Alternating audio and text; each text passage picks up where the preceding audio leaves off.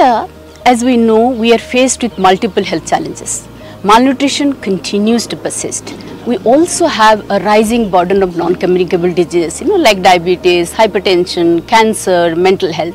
We also have health risks due to environmental degradation and climate change different sections of the population, you know, based on caste, class, gender, region, obviously they bear a disproportionate burden of health risks and outcomes due to these health challenges. So inequalities in health and healthcare continues to be a critical concern in India.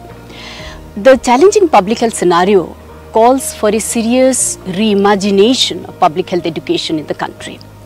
At the core of such a imagination what it has or what we should have is basically how do we prepare our public health practitioners who are committed to the social purpose of public health, who have the required public health competencies and most importantly that they are grounded in the field realities and contexts in India. It is towards this effort that we launch our Master of Public Health program. This is offered from our Bhopal campus.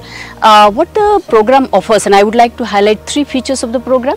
The first is that it, it is grounded in the values of equity, human rights and social justice. Two, it has a practice orientation with substantial field engagements in different parts of the country. And third is that it offers a competency driven curriculum that consciously nurtures uh, candidates, you know, students competencies to be able to work at the communities, programs and policy levels. Let me give two examples the, at the community level, for example, they could identify the needs of a particular community, health needs of a particular community and come up with a community health action plan. They will be able to measure the burden and disparities of a particular health problem.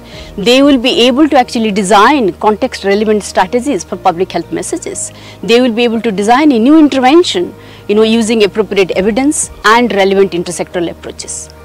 The program is aimed at a diverse audience, consciously inviting candidates from different disciplinary backgrounds, you know, health sciences, social sciences, natural sciences and from different sectoral backgrounds with at least two years of work and field experience.